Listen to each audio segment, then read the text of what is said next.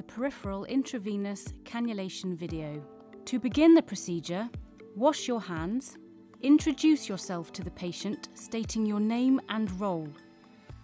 Ask the patient to confirm their name and date of birth and confirm if they have any allergies. Ensure you check all of these details on their hospital name band. Seek permission to carry out the procedure from the patient, making sure that you have fully explained the procedure and the reasons for doing it. Expose both arms and choose a suitable site for cannulation. Reposition the patient, making sure that their arm is fully supported and comfortable. Ask the patient if they have a preferred arm.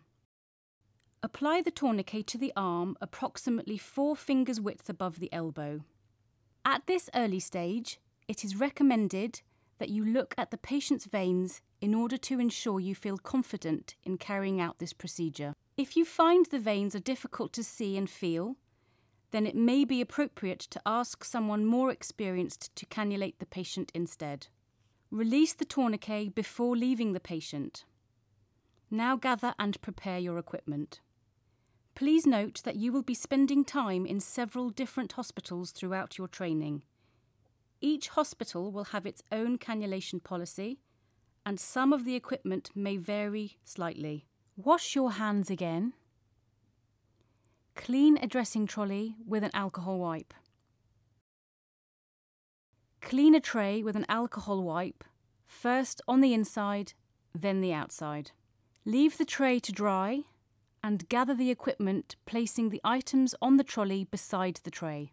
You will need an alcohol wipe, an appropriate size cannula, a cannulation pack as per trust policy,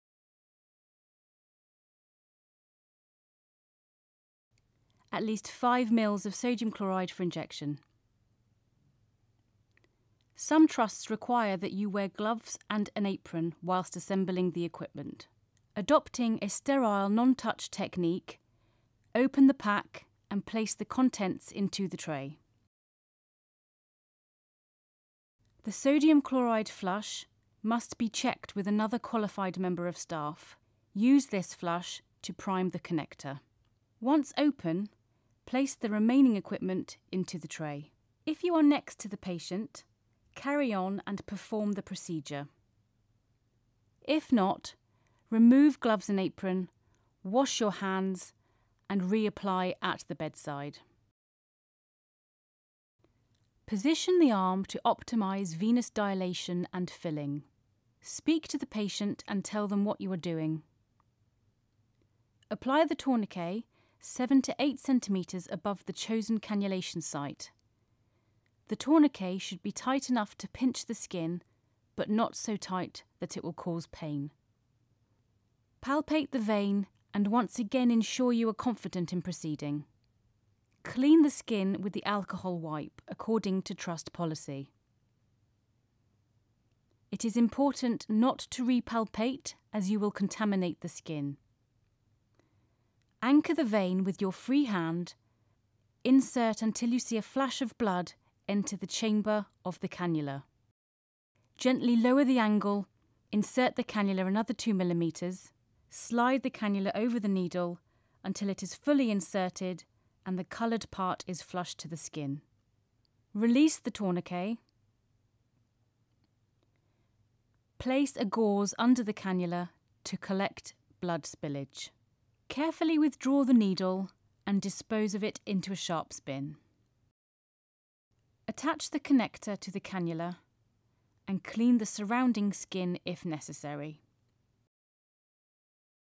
Secure the cannula with the dressing and flush with the sodium chloride.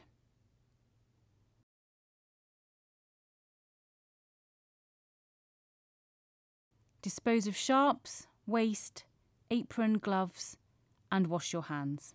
Please ensure you document this procedure in the notes.